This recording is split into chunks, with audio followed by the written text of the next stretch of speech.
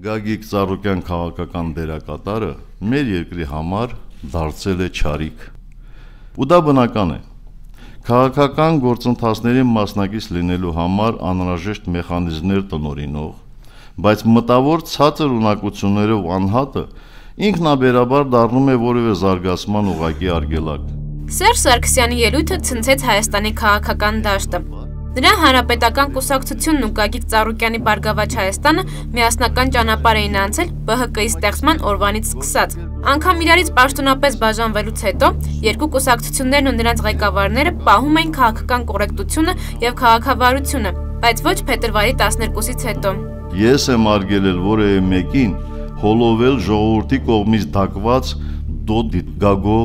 կնիքը Սիվինետը փորձել է վերհիշել ԲՀԿ-ի ու ՀՀԿ-ի անցած ուղին ԲՀԿ-ի ստեղծումից մինչև մեր օրեր։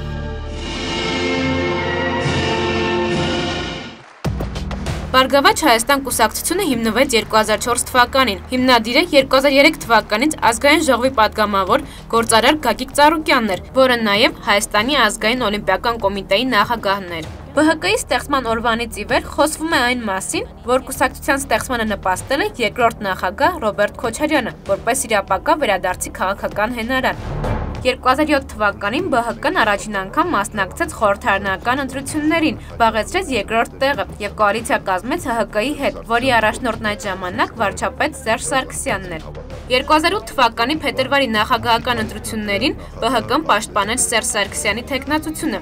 Վիճելի ընտրություններից հետո մարտի 21-ին ԲՀԿ-ն ՀՀԿ-ի հետ ստորագրեց կոալիցիոն կառավարություն կազմելու մասին պայմանագիր, որին միացան նաև հայ հեղափոխական դաշնակցությունն օրինաց երկիրը։ 2009 թվականի փետրվարի 12-ին Գագիկ Ծառուկյանը հայտարարեց, որ ԲՀԿ-ն հավատարիմ է կոալիցիոն գործակցությանը, համոզմունք հայտնելով, որ բարեփոխումները հաղթելու են։ 2009 թվականին, երբ Սերժ Սարգսյանը նախաձեռնեց հայ-թուրքական ֆուտբոլային դիվանագիտությունը, կոալիցիայից հեռացավ Հոյդան։ ԲՀԿ-ն աջակցեց Սարգսյանին նախաձեռնած գործընթացում, սակայն ավելի ուշ իր շարքերն ընդունեց արձանագրությունների մոլեգին քննադատ նախկին արտգործնախարար Վարդան Օսկանյանին։ ՀՀԿ-ի ու ԲՀԿ-ի միջև առաջին լուրջ հակասություններն ի հայտ եկան 2009 թվականի Երևանի քաղաքապետի ընտրությունների ժամանակ, երբ կոալիցիոն գործընկերները հանդես եկան տարբեր տեխնացուներով։ Մենք ենք Երևանը։ Մի շարք բախումներ տեղի ունեցան երկու ուժերի անդամների միջև, սակայն Երևանյան ընտրությունները երկու ուժերին չբաժանեցին իրարից։ 2011 թվականի փետրվարի 17-ին ՀՀԿ-ն, ԲՀԿ-ն եւ ՕԵԿ-ը կոալիցիոն նոր փաստաթուղթ ստորագրեցին։ Կողմերը հայտարարում էին, որ 2013 թվականի նախագահական ընտրություններում պաշտպանելու են գործող նախագահ Սերժ Սարգսյանի թեկնածությունը։ 2011 թվականի նոյեմբերի 25-ին առաջին նախագահ Հայ ազգային կոնգրեսի առաջնորդ Լևոն Տեր-Պետրոսյանը, որը ժամանակին Ծառուկյանի Տիկնազորին մեղադրում էր 2008 թվականի մարտի 1-ի դեպքերին մասնակցելու մեջ, հանդես եկավ քաղաքագիտական վերլուծությամբ, խոսելով ԲՀԿ-ի հետ համագործակցության հնարավորության մասին։ Առայժմ դժվար է գուշակել, թե որքան հերում կգնան իշխանական կոալիցիայի ներսում ցակած տարաձայնությունները։ Բայց եթե պարզվի, որ Բարգավաճ Հայաստանը իսկապես անկեղծորեն մտադիր է դուրս գալ կոալիցիայից եւ պայքարել իրապես արդար օրինական ընտրություններ անցկացնելու համար, ապա իմ կարծիքով, կրկնում եմ, սա իմ կարծիքն է, կոնգրեսի պաշտոնական կարծիքը չէ, ապա իմ կարծիքով Հայ ազգային կոնգրեսը այդ պարագայում պետք է պատրաստ լինի լրջորեն քննարկել նրա հետ համագործակցելու հնարավորություններն ու հերանեկարները։ 2012 թվականի փետրվարին ՀՀԿ-ն, ԲՀԿ-ն եւ ՕԵԿ-ը հայտարարեցին, որ խորհրդարանական ընտրություններում հանդես են գալու սեփական ընտրացուցակներով, ինչով փաստացի չեղարկվում էր 1 տարի առաջ կնքված հուշագիրը։ Շուտով ՀԱԿ-ը, ԲՀԿ-ն, Հոյդան եւ Ժառանգությունը ընտրությունները վերահսկելու միասնական ճակատ ստեղծեցին։ Սերժ Սարգսյանը նախընտրական քարոզարշավի ընթացքում Կոտայքի մարզում հայտարարեց, որ այդ ընտրատարածքում սատարելու է ԲՀԿ առաջնորդ Գագիկ Ծառուկյանին։ Բնականաբար մենք այնտեղ, որտեղ падգամավորի տեխնացու չենք առաջադրել, պաշտպանում ենք մեր կոալիցիոն գործընկերներին։ Եվ այստեղ բնականաբար մենք պաշտպանում ենք պարոն Գագիկ Ծառուկյանի տեխնացուությունը։ Մայիսին տեղի ունեցած ընտրություններում ԲՀԿ-ն կրկին զբաղեցրեց երկրորդ տեղը։ Շատերն ակնկալում են, որ ԲՀԿ-ն կշարունակի կոալիցիոն համագործակցությունը ՀՀԿ-ի հետ, սակայն Ծառուկյանը մայիսի 24-ին հայտարարեց, որ նպատակահարմար չի գտնում մասնակցելու կառավարության ձևավորմանը։ ԲՀԿ-ն իրեն հրճակեց այլ ընտրանք իշխանությանը եւ ընդդիմությանը։ ԲՀԿ-ական մարզպետները, նրանց տեղակալները եւ փոխնախարարները հրաժարական տվեցին։ Բայց եւ այնպես, չլինելով կոալիցիայի անդամ, ԲՀԿ շատ նախաձեռնություններում չէր ընդդիմանում ՀՀԿ-ին։ Խորհրդարանական ընտրություններից հետո ազգային ժողովի նախագահի ընտրությանը ԲՀԿ-ն մեծամասամբ սատարեց ՀՀԿ փոխնախագահ Հովիկ Աբրահամյանին, որը ԲՀԿ առաջնորդի խնամին է։ 2012 թվականի սեպտեմբերին Հայաստանի մի շարք համայնքներում անցկացվեցին տեղական ինքնակառավարման ընտրություններ։ ՀՀԿ-ի եւ ԲՀԿ-ի միջև ամենասուր պայքարը սպասվում էր երկրորդ քաղաքում՝ Գյումրիում։ Սերժ Սարգսյանը սեփական տեխնատու չառաջադրեց եւ հայտարարեց, որ Գյումրիում պաշտպանելու է ԲՀԿ-ական Սամվել Բալասանյանին։ 2012 թվականի մայիսի խորհրդարանական ընտրություններից հետո, երբ ԲՀԿ-ն կոալիցիա չկազմեց ՀՀԿ-ի հետ, քաղաքական օրակարգի հիմնական հարցն էր, թե ԲՀԿ-ն ինչպես է մասնակցելու 2013 թվականի փետրվարի նախագահական ընտրություններին։ Ակնկալվում էր, որ ԲՀԿ-ն հանդես կգա սեփական տեխնացուով։ 2012 թվականի դեկտեմբերին Ծառուկյանը հայտարարեց, որ նախագահական ընտրություններում ինքը չի առաջադրում իր տեխնացությունը եւ չի պաշտպանում որևէ այլ տեխնացուի։ Սերժ Սարգսյանի հետ ընտրապայքարի գլխավոր մրցակիցը մնաց Ժառանգության առաջնորդ Ռաֆի Հովանիսյանը։ Հատկանշական է, որ ԲՀԿ-ի էլեկտորատը համարվող տարածքներում, Կոտայքի մարզում եւ Գյումրիում հաղթանակ տարավ Ռաֆի Հովանիսյանը։ Չնայած ՀՀԿ-ի եւ ԲՀԿ-ի միջև հակասություններին 2013 թվականի մարտին Ծառուկյանը վերընտրվեց Հայաստանի ազգային օլիմպիական կոմիտեի նախագահ։ Ծառուկյանը մինչև 2015 թվականի փետրվարը նաև ազգային անվտանգության խորհրդի անդամ էր, ինչպես նաև ֆիզկուլտ ինստիտուտի խորհրդի նախագահը։ ՀՀԿ-ի եւ ԲՀԿ-ի միջև հաջորդ մրցապայքարը 2013 թվականի մայիսին էր Երևանի ավականու ընտրություններում։ ԲՀԿ ցուցակը գլխավորեց Վարդան Օսկանյանը, իսկ ՀՀԿ ցուցակը Երևանի գործող քաղաքապետ Տարոն Մարկարյանը։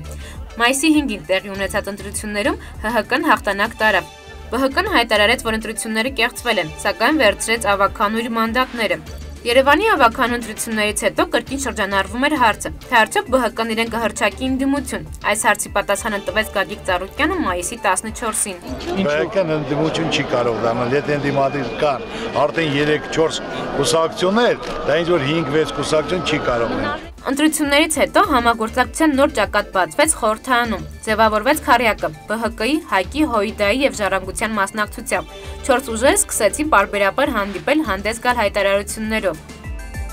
2013 թվականի աշնանը ԲՀԿ-ն կողմ քվեարկեց Սերժ Սարգսյանի կողմից Վերահսկիչ պալատի նախագահի պաշտոնում առաջադրված Իշխան Զաքարյանի եւ գլխավոր դատախազի պաշտոնում ներկայացված Գևոր Կոստանյանի տեխնատություններին։ 2014-ի հունվարի 1-ին ուժի մեջ մտավ կൂട്ടակային կենսաթոշակների մասին նոր օրենքը։ 2010 թվականի մարտին ԲՀԿ-ն կողմ էր քվեարկել այս օրենքին, սակայն 4 տարի անց դարձավ դրա դեմ պայքարի առաջամարտիկը։ Մարտին Խարյակը ահանջեց վարչապետ Տիգրան Սարգսյանի հրաժարականը, սպառնալով, որ հակառակ դեպքում ապրիլի 30-ին Ազատության հրապարակում շուրջօրյա հանրահավաքներ կսկսի։ ՀՀԿ-ն համառորեն հերքում էր վարչապետի հնարավոր պաշտոնակության մասին լուրերը։ Այլ օրակարգում նման հարց չկա։ Մեկ անգամ չէ, որ ասել եմ։ Ապրիլի 30-ին Տիգրան Սարգսյանը հրաժարական տվեց։ Տիգրան Սարգսյանի հրաժարականից հետո վարչապետի պաշտոնում Սերժ Սարգսյանը առաջադրեց խորհրդանի խոսնակ Հովիկ Աբրահամյանի տեխնատությունը։ Ծառուկյանի խնամի Աբրահամյանի նշանակումը վարչապետի պաշտոնում դիտվեց որպես ԲՀԿ-ի զսպելու փորձ, սակայն ԲՀԿ-ն կրկին հայտարարեց, որ կոալիցիա չի կազմելու։ Հունիսին ոչ իշխանական քարյակը 12 կետերից բաղկացած պահանջ ներկայացրեց նոր կառավարությանը եւ դրան կատարելու համար ժամանակ տվեց մինչեւ սեպտեմբերի 30-ը։ Հոկտեմբերի 1-ին կառավարությունը մանրամասն պատասխան ներկայացրեց քարյակի 12 կետերին, նշելով, որ դրանց մի մասն արդեն իրագործվել է, մի մասն էլ անիրագործելի է։ Հոկտեմբերի 15-ին հրապարակվեց սահմանադրական փոփոխությունների նախագիծը, որով նախատեսվում է Հայաստանում կառավարման կիսանախագահական համակարգը փոխարինել խորհրդարանականով։ ԲՀԿ-ն հայտարարեց, որ սահմանադրական փոփոխություններով Սերժ Սարգսյանը ցանկանում է վերարտադրել իր իշխանությունը։ Հույդան կողմ արտահայտվեց փոփոխություններին եւ սառեցրեց իր անդամակցությունը Քարյակին։ Քարյակը դարձավ երեք եւ խոստացավ թեժաշուն հանրահավաքների շարք սկսելով մարզերում, որոնք ավարտվեցին Երևանի ազատության հրապարակում հոկտեմբերին տեղի ունեցած երկու հուժկու հանրահավաքներով։ Շարժումն իրեն կոչեց համաժողովրդական, ԲՀԿ-ն հանրահավաքներին խոսելով իշխանապողության մասին անմիջականորեն Սերժ Սարգսյանի հրաժարականը չէր պահանջում։ Հոկտեմբերյան հանրահավաքներով թեժ աշունն ավարտվեց։ ԲՀԿ-ն հայտարարեց, որ համաժողովրդական շարժման մարզային շտաբներ է ստեղծում։ 2015 թվականի հունվարին բողոքի ցույցեր սկսեցին մանր եւ միջին ձեռնարկությունների ներկայացուցիչները, որոնք պայքարում էին շրջանառության հարկի մասին օրենքի փոփոխությունների դեմ։ Առևտրականների բողոքին աջակցություն էր ցուսաբերում ԲՀԿ-ն։ Փետրվարի 5-ին Գագիկ Ծառուկյանը իր նորակառույց հյուրանոցում քաղաքական հասարակական ուժերի խորհրդաժողով հրավիրեց եւ խիստ քննադատության ենթարկեց իշխանություններին։ Վերջին շրջանի մի շարք իրադարձություններ, այդ թվում Գյումրիի ողբերգությունը, սահմանային ընդհարումների հաճախացումը, անտանելի գնաճը, ֆինանսական շուկայի անկայունությունները, այն վերջին կաթիլներն էին, որոնք պետք է հուշեն իշխանություններին, որ ժողովուրդը կանգնած է հզոր պորտման շեմին։ Խորհրդաժողովից ընդամենը 2 օր անց առևանգվեց եւ դաժան ծեծի ենթարկվեց ԲՀԿ անդամ Արտակ Խաչատրյանը, որը առևտրականների ցույցերի ակտիվ մասնակից եւ կազմակերպիչ էր։ Խաչատրյանի ծեծի համար ԲՀԿ-ն մեղադրեց երկրի բարձրագույն իշխանություններին։ Վարչապետ Աբ รา համյանը Ծառուկյանին զգուշացրեց անձամբ հետևել իր քաղաքական կառույցից հնչող հայտարարություններին։ Եթե ԲՀԿ առաջնորդը չհետևի այդ անպատասխանատու հայտարարություններին, ապա դրանցից բխող հնարավոր զարգացումների եւ սրացումների ողջ քաղաքական պատասխանատվությունը մնալու է անձամբ Գագիկ Ծառուկյանի վրա։ Փետրվարի 12-ին Սերժ Սարգսյանի ելույթը ՀՀԿ խորհրդի նիստում նոր սահմանագիծ դարձավ ՀՀԿ-ԲՀԿ հարաբերություններում։ Սարգսյանը Ծառուկյանին քաղաքական զավեշտ որակից եւ փաստացի նրան պատերազմ հայտարարեց։